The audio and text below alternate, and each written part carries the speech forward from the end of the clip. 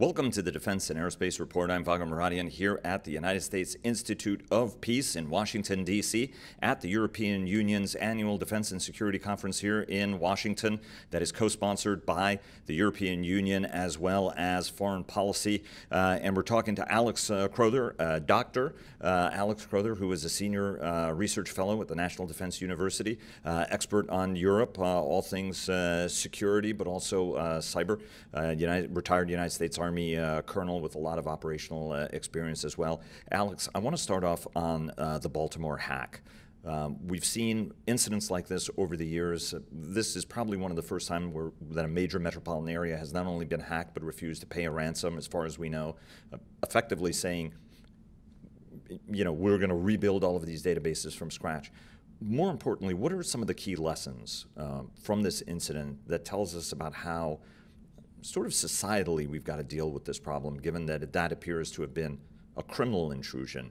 But there are also nation states that are involved in this space as well. What's the way to think about the space and best protect ourselves? So, Vago, uh, there's actually been uh, 170 state and local uh, ransomware attacks uh, since 2013 when the Swansea, Massachusetts Police Department was uh, first hit by ransomware. Baltimore's been hit three times, once during the riot several years ago, once uh, a year ago March and now. Uh, so 17% uh, of the victims pay the ransom, the others do not. Um, the lessons learned are uh, there's essentially four lessons learned, right? Uh, you've uh, you've got to you've got to have a plan first of all, right? Uh, second of all, you have to back up all your data, preferably daily. That way, if somebody says, I'm going to destroy your data, you just go back to yesterday afternoon's data and you've only lost a few hours worth of transactions. Um, the third one is that uh, you need to be able to function without electronics. You have to have a, a, a, backup system to be able to do things by paper. That's what Baltimore is doing now with most of their functions. And the last one is we really need our senior leaders to think about cybersecurity because they're clearly not apportioning enough resources to it. It's kind of a, an, either an afterthought or a nuisance where actually it's a core function of a government. Do you see this? Yeah, you know, when it's really interesting because everybody's been looking at a paperless lifestyle effectively. This is just a really good reminder that you can't entirely go to a paperless uh, lifestyle in many respects what are how much of this is a technological problem how much of this is a research problem how much of this is a cultural problem or is it actually a blend of all three of them it's a blend of all three. Uh, what's happening is for instance half of americans don't use an antivirus. The most popular password in the united states is password. The next next most popular is one, some variant on one two three four five. And so we really need a, a holistic uh, training and education approach starting in kindergarten and going all the way up through senior leaders here in the United States uh, because we're just uh, not clued into it. Imagine a United States where 350 million people did not click on the link. that's actually that's that actually would be something that would be uh, worth seeing, and then, then you can have a national competition for like, oh my God, you were the guy who clicked on the link and brought everything down. Uh, no, um, do you think though that uh, you know the Government Accountability Office uh, last year, if I recall correctly, did a study that indicated that something like 80% of actually some of the nation's most classified networks are actually protected by, by very, very weak passwords at the end of the day. Do you think that the military services and the government is doing a, you know, what do they have to do in this uh, spectrum as well? Because it's one thing to build a really, really important and classified battle network, then actually compromise it because you don't have the right, you know, you pick password 123 to be your password. Well, uh, the really important data is uh, kept on separate networks that do not connect to the internet. Um, and so, uh, what you really have to do, you can't protect everything. Uh, so you have to do kind of a tiered system where you have to identify your crown jewels and protect them really well, and then other stuff you don't have to protect as well. We don't do that. We try the protect everything theory. Uh, DHS is working on it. DHS is responsible for working with the population, with state, local, and tribal governments, tribal and territorial governments. Um, the Department of Defense is is doing their own thing. They're responsible for three things: uh, the defense of their own networks, uh, crime having to do with the defense industrial base, and crime having to do with people who are members of the Department of Defense. But that's it as far as they're concerned. DHS is the major player here. Does the United States have to forge uh, a better cyber coalition? I know NATO is working, for example, has working groups, has a command that's uh, trying to address some of these cyber challenges, but they are pretty profound. And if you look at it, sometimes there is a lowest common denominator problem. Not everybody can protect themselves the exact same way. A little bit like during the Cold War, the Russians knew where they could get information, and it didn't necessarily have to be cracking U.S. networks. You could crack an allied network that has access to those same battle plans, uh, for example. Uh, what is how should the alliance and, and the United States and its allies collectively be thinking about this space, given how active Russia, China, uh, North Korea, Iran, and criminal groups are in trying to exploit all sorts of cyber vulnerabilities for their advantage? Well, Vago, I'm actually talking to the cyber people at NATO about this, uh, and their main concern is a wide disparity in cyber capability. You know, at the high end, you have the US, the UK, France, Germany, and at the other end, you have smaller countries. They specifically mentioned Montenegro to me as the newest ally. Uh, what NATO does is it uh, gives uh, a minimum standard to the allies. This is what you, this is the minimum standard you must meet in cybersecurity in order to be allowed into NATO networks. And if they don't meet that minimum criteria, they're not allowed uh, to communicate with the NATO networks. So they're they're working on it, uh, but uh, you know there's so many different priorities: information, uh, rebuilding, uh, you know the German military, things like that. Uh, so cyber is just one priority among many, but I know they're working it hard. Uh, and, and we've seen, for example, the Germans uh, creating 16,000 uh, member cyber corps, for example. So it's obviously clear that our allies are taking it seriously. I want to ask you about devolution of um, offensive authority. Uh, until just a little while ago, that was reserved for the president to make the decision. This administration has vested uh, offensive cyber uh, response capabilities at lower levels. Talk to us about the blend and how to be thinking about this fluid space in which uh, Marine Corps Commandant Bob Neller, I think, rightly observes we've been at war for the last 10 years.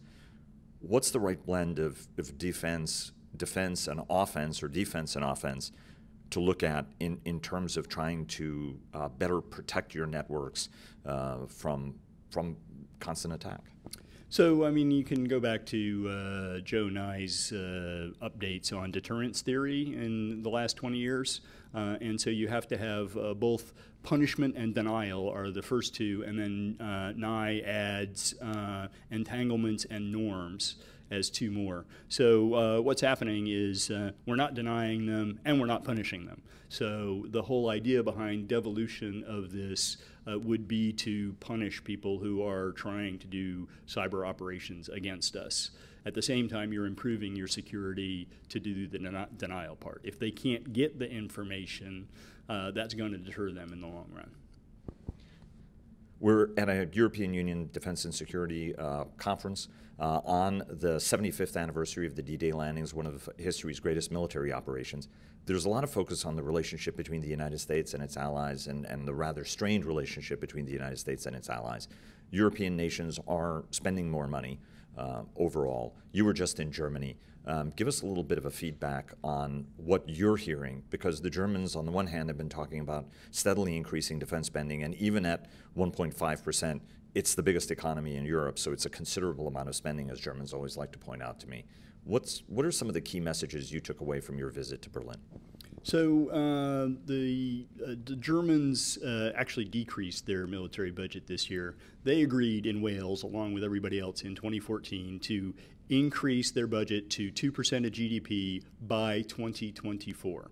Uh, but then in the last elections, the SPD did not do very well. That's the, the center left party, which is in coalition with Angela Merkel's center right party, the CDU.